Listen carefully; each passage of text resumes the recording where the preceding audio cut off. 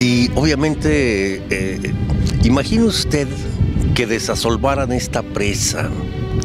Sería completamente distinto, sería uno de los principales vasos captadores, pudiera captar más agua, almacenarla, eh, no llegar a los niveles tétricos, espantosos, horribles que vimos en semanas pasadas donde pues donde ya era una nata de lodo, lo único que quedaba, pues nos reportaron que las lluvias cumplieron con su misión, las lluvias eh, cumplieron con el milagro de que todo este panorama ahora nos traiga paz, nos traiga tranquilidad, pero sobre todo, y aludiendo al nombre de la presa, la esperanza de que salgamos de esta crisis hídrica eh, con la bendición de las lluvias.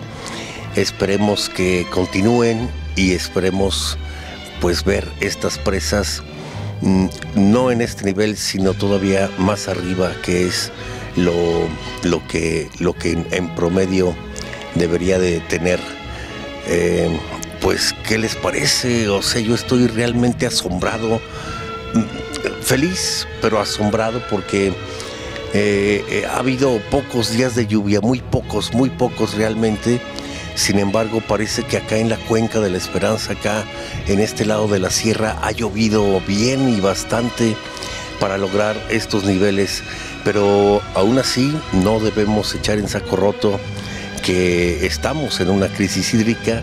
Esto nada más es un respiro y esperemos que los proyectos para pues para captar agua y, aprovecharla eh, se hagan una realidad. Cuidemos de agua. Para el sistema de noticias de TV Guanajuato, con imágenes de Diego Hernández, informó Zenek Insunza.